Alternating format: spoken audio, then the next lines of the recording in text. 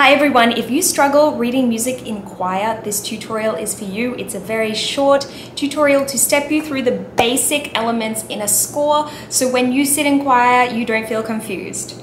Okay, to get us started, I have pulled my arrangement that I bought last year for my choir, You Make Me Feel Like Dancing, which is a fun, groovy 70s number. I chose it because my group I have is a middle school choir and I like to expose them to different types of styles and retro songs as well.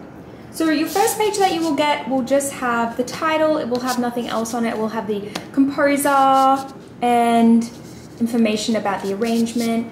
We're going to turn to the first page, which sometimes confuses people because usually on these scores, page two is actually the first page. On the score, you will have your title, You Make Me Feel Like Dancing, and underneath it says for SSA voices accompanied.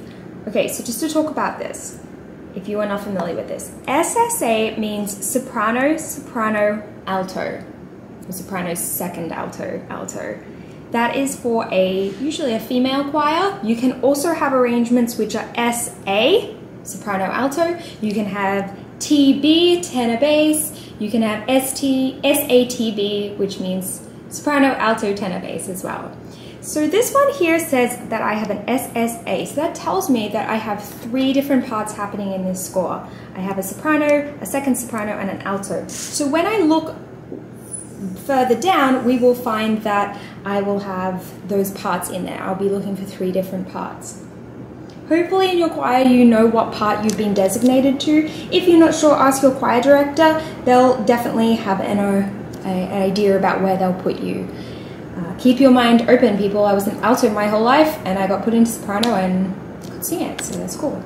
You'll have your arranger over here, Paul Langford, and you'll have the, the original composer and lyricist over here on the right. So you've got title, arranger, composer.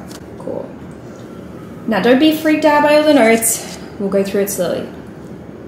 This little staff connection bracket with the words accomp means accompaniment. That is what is accompanying the singing. Okay, and in this in this song it is piano. And we know that because the accompaniment is piano because it has this bracket connecting these two stabs, which means that the piano right hand is this one and the, the left hand is this one.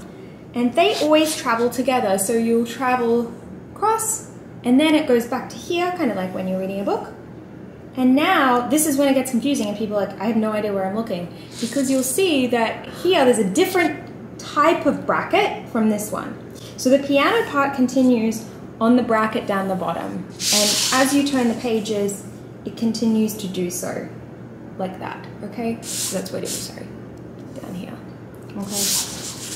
The new type of bracket that we see here is connecting the vocal parts. And you'll see underneath the whole thing is connected by a bracket. So it connects the voice parts with the piano part with this one single line.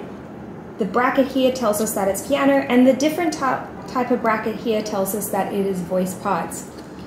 Here it says SOP 1, SOP 2, altos. So looking up here when we had the SSA, soprano 1, soprano 2, and alto. If you're an alto, you are following this line, the second one that's underneath, for the entire song. So you go from here, when we get up to this thing, you're following the second one, following the second one, you're following the second one, if you're an alto. And this score reading exercise actually goes for any type of voice type that you are. It just helps you follow them. Usually the bass will be on the bottom, uh, tenor and bass. If it is an ST, SATB, the soprano alto will be on one line like this, and the tenor and bass will be on the second one, and etc. etc.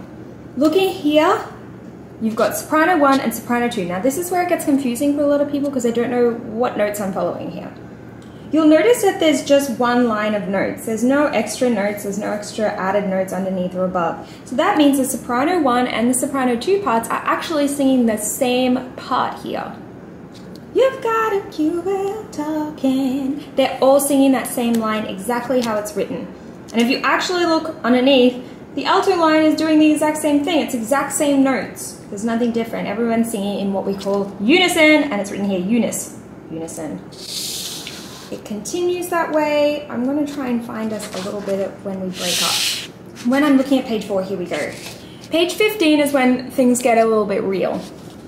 Altos follow, they know that they're following this line because it's underneath the soprano line, it's the second one. But you'll notice that now I have two different notes. The soprano ones, the top sopranos will follow that top note here, and then the bottom sopranos, the second sopranos will sing the second note. They do that because then they don't have to print lots and lots of sheet music and they can just condense it to one staff. Some arrangements might actually have a staff for the second, second sopranos, but not this one. They're condensing it to make it neater. So second sopranos, you will be following the, any note that goes underneath. And here you'll notice that the notes both have a stem down and a stem up, meaning that you're singing different notes, different notes, different notes, and then here you're actually singing the same notes. That's what it is indicating. So again, soprano ones follow the top, soprano twos follow the bottom. And then here, you're seeing the same thing. To go through a few of the symbols, just so you're not confused, this part up here, swing 16th pop groove, is your tempo. The little note with the equal with 100 is your BPM, our beats per minute, and I have a separate video on that if you want to check that out, which tells you about that. This whole thing is a bar, and bars are split up by these long bars, splitting them all up in half right, like that. So that's one bar, that's two bar, three bar, four bar. So ask yourself, what bar does the singers come in on? They enter on bar five and it's indicated with a little five in a box. The other things that you'll notice is you have clefs, so a treble clef and a bass clef. If you're in a singing in a female choir, you will typically only be singing with a treble clef in front, and if you're a male, you'll tend to be sometimes singing with a uh, bass clef, but not always. These little symbols here just indicate the key. You don't have to worry about that as a singer. The 4-4 indicates that we are in common time, so four beats per bar. So there'll be four beats in a bar. Don't worry, this is a bit rhythmical here, so you don't have to worry about that, just so you know. And these little D, B, M7, F sharp, M7, indicates the chords. Okay, so if you have an accompanist that doesn't want to play what's written here, or you have a band that wants to play it, they are playing the chords there. Underneath is as well, copying is illegal. If you are doing chorus, you should not be photocopying for your choir. You should buy enough arrangements so every single person has a their own copy that they can make notes on. I usually ask my chorus to use pencil if they want to mark on their score and then we erase it at the end of the year. One thing that will also help for singing is we don't have buttons to press. We don't have notes that match exactly with that, unless you have perfect pitch, and that's pretty rare. You can just follow the movement of the notes. So we know that here we're starting high, because it's higher up on the staff, and we're going down, we're going up again and moving down.